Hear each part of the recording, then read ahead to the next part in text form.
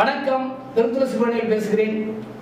நெட்லிஸ் TV நேர்களுக்கு இந்த வாரம் அரண்மனை த்ரீ படத்தோட திரைவிமர்சனம் தான் நீங்கள் பார்க்க போகிறீங்க இந்த படத்தோட அதாவது ஒன் டூ ரெண்டு படமே சூப்பர் ஹிட் அவர் இவருக்கு சுந்தர்சிக்கு அதுக்கப்புறம் மூணாவது அரண்மனை த்ரீ இந்த படமும். இந்த படமும் நிச்சயம் வெற்றி பெறும். அந்த அளவுக்கு திகழா ரொம்ப சிறப்பாக மிகுந்த பட்ஜெட்டில் பெரிய லெவலில் படத்தை பிரமாண்டமாக எடுத்திருக்காங்க.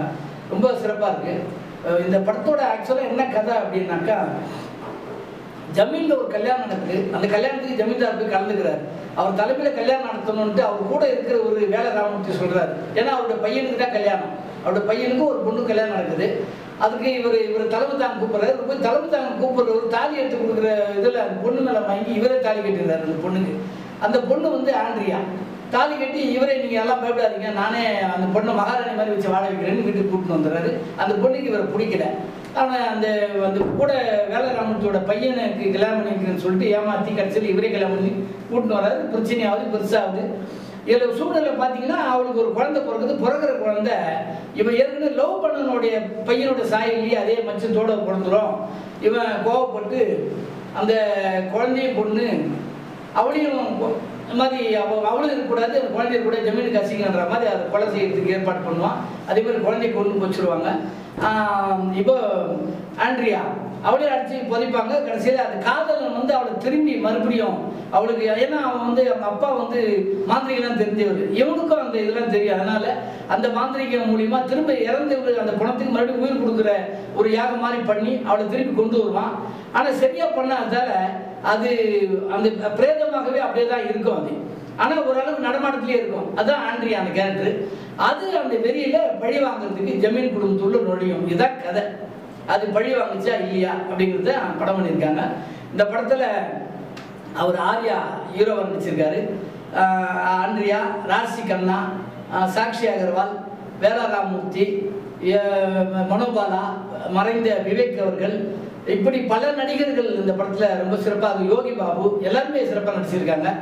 ஒரு திகில் படம். உண்மையிலேயே அந்த ஒன் டூவோட இது பிரம்மாண்டம் ஜாஸ்தி இருக்கு. நல்ல கிராபிக்ஸ் நல்லா செலவு பண்ணியிருக்காங்க. இந்த கதை அடிப்படையில் தான் அந்த படத்தை பண்ணியிருக்காங்க. ஓ அதில் எப்பவுமே ரெண்டு ரெண்டுத்துலேயுமே ஒரு சுந்தர்சி வந்து ஒரு கேரக்டரில் வருவார்.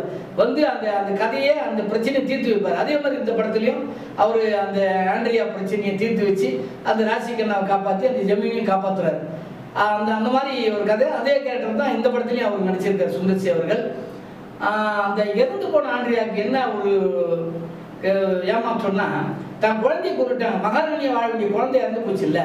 அந்த குழந்தைய திரும்ப அந்த அதோட ஆவியை இப்போ ராசிகண்ணான்னு ஒருத்தி வந்து வேலைக்கார பொண்ணு தானே வளர்த்துருப்பாங்க அந்த பொண்ணு பொண்ணுட்டு அதனால அந்த பொண்ணு உடைய இதில் ஆவியை ஏற்றி தான் பொண்ணே எங்கள் மகாராணியை வாழணும். உருவம் அவள் தான் இருந்தாலும் அவங்க என்னுடைய பொண்ணோட உயிரில் அவங்க ஆவியில் அவள் வாழணும். மகாராணியாக வாழணுன்றது தான் அவளுடைய சபதம். அதை நிறைவேறது தான் அந்த அரண்மனைக்கு அவள் வரான் இது முடியாதுன்னு ஜமீன்தார் போராடுறது. இப்படி இந்த சூழ்நிலை சுந்தர்சி இடையில திடீர்னு அந்த ஜமீனுக்கு வர போக இந்த பிரச்சனைலாம் அறிஞ்சு அதுல இருந்து எப்படி அவர் ராசிகண்ணாவை வந்து அந்த அந்த அரண்மனைக்கு அவர் மகாராணி ஆகிறதுக்கான ஏற்பாடு பண்றாருங்கிறது தான் கதை. படம் திகழா இருக்கு. நல்ல பிரம்மாண்டமா பண்ணியிருக்காங்க. கமர்ஷியலாக இருக்கு படம். பெரிய அதாவது பெரிய அளவுக்கு செலவு பண்ணுறாரு அவர் பண்ண படத்துலேயே இந்த படம் பெரிய செலவு தான் நல்லா அதுவும் குஜராத்தில் ஒரு உண்மையான ஒரு அரண்மனையில் போய் நாற்பது நாள் இருந்து இந்த படத்தை ஷூட்டிங்லாம் எடுத்து ரொம்ப சிறப்பாக பண்ணியிருக்காங்க. மனோபாலாவும் காமெடி நல்லா பண்ணியிருக்காரு. யோகி பாபு மனோபாலா காமெடி ரொம்ப சிறப்பாக வந்திருக்கு. விவேக் வந்து பார்க்கவே வேதனையாக இருக்குது அவர் ரொம்ப சிறப்பாக அவருடைய போஸ்டர்லாம் ரொம்ப சிறப்பாக பண்ணி கொடுத்துருக்காரு. படம் நல்ல கமர்ஷியலாக எப்படி ஒன் ஒன் டூ ஹிட் ஆச்சோ அதே மாதிரி இந்த படத்துக்கும் ஹிட் ஆகிறதுக்கான நிறைய சந்தர்ப்பம் இருக்குது நல்ல கமர்ஷியலாக இருக்குது படம் பிரம்மாண்டமாக இருக்குது நல்ல கிராஃபிக்ஸ்லாம் பண்ணியிருக்காங்க. செலவு நிறைய இருக்குது ஜமீன் அரண்மனை பார்க்கவே பிரம்மாண்டமாக இருக்குது இந்த படத்தில் சொல்லப்போனால் அரண்மனை தான் மிக மெயின் இது. அதை சுற்றி தான் கதையே நடக்குது. ரொம்ப சிறப்பாக பண்ணியிருக்காங்க. படம் நிச்சயமாக பெரிய அளவுக்கு வெற்றி வரும் அதுக்கான சந்தர்ப்பம் நிறைய இருக்குது இந்த படத்துக்கு. ஒன்று சக்ஸஸ் ஆகுது டூவும் சக்ஸஸ் அதே மாதிரி த்ரீயும் சக்ஸஸ் ஆகிறதுக்கான வாய்ப்பு இருக்குது அதில் ஏதோ ஒரு அழுத்தமான ஒரு கதை கொடுத்து இந்த படத்தை பண்ணியிருக்காங்க. படம் சிறப்பாக எடுத்து முடிச்சிருக்காங்க. நிச்சயமாக அந்த படம் பெரிய அளவுக்கு வெற்றி பெறும். அதே மாதிரி ஒன்று ரெண்டு மாதிரி இந்த படமும் பெரிய அளவு விட பெட்டராகவே இது வெற்றிக்குரிய ஒரு அம்சம் இந்த படத்தில் எல்லாமே இருக்குது எல்லா சிறப்பு அம்சமும் இருக்குது படம் நல்லா வந்திருக்கு. சுந்தர்சி நல்ல பிரமாதமாக இந்த படத்தை இயக்கியிருக்காரு. எல்லாமே சிறப்பாக இருக்குது படத்தில்.